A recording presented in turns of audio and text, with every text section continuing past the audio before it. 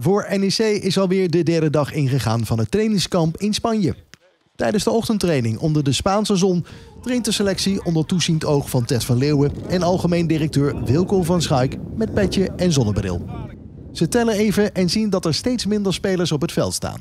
Uh, ja, we hadden vandaag 16 spelers en uh, de geblesseerden die er waren, die waren binnen. En uh, daar zijn Mikkel en Ivan ook onderdeel van, maar dat, dat is niet ernstig. Nee, is, want ze vielen, gisteren viel Mikkel uit bij de eerste partij.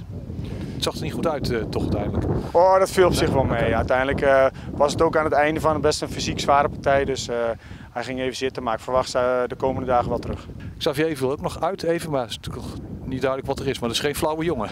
Nee, klopt. Alleen hij kwam volgens mij verkeerd terecht uit een schot. En uh, ook dat denk ik niet dat het heel ernstig is. Maar ja, dat hoort erbij. Uh, het is niet anders dan in Nijmegen, dus dat heeft niet zoveel te maken met Spanje, denk ik. Nee, dus wat dat betreft uh, ja, is het ook qua trainingsvormen wel natuurlijk jammer. Hè? Je hebt bepaalde dingen in je hoofd en dan heb je een bepaald aantal mensen voor nodig. Ja, maar oké, dat, dat weet je dat, dat, ja. uh, dat het erbij hoort. En dat is uh, gedurende de week in Nijmegen ook vaak zo. Dus dat is niet anders dan nu. Maar dan kun je even makkelijk misschien heel even wat jeugdspelers erbij halen. Dat lukt hier niet natuurlijk. Je al twee meegenomen. Nou, dat is afgelopen anderhalf jaar heel lastig geweest met corona ook. Ja. Hè, met jeugdspelers erbij halen. Dus dat hebben we niet heel vaak gedaan. Ja, dat hoort er nou eenmaal bij.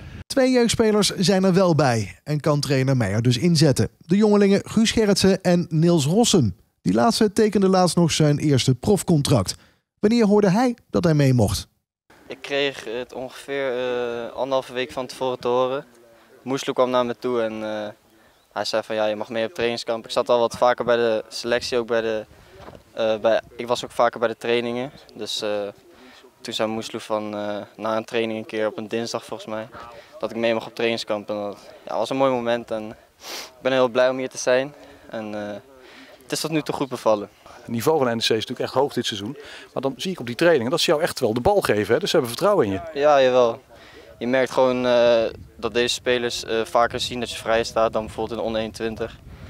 Dus krijg je ook misschien meer ballen als je, als je gewoon tussen de linies vrij bent, spelen ze je gewoon in. En dat is wel fijn. En ja, het is mooi dat ze me meteen ook zoeken om, uh, om me aan de bal te krijgen. Niels komt uit Wiegen en speelt al sinds zijn jeugd bij NEC. Hij kwam in de E-over van Alverna.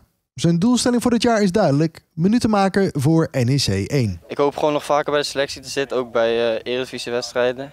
Uh, en dan ja, hoop, hoop je dan een keer op je debuut. Maar uh, het zal niet makkelijk worden, maar het is wel een doel voor mij.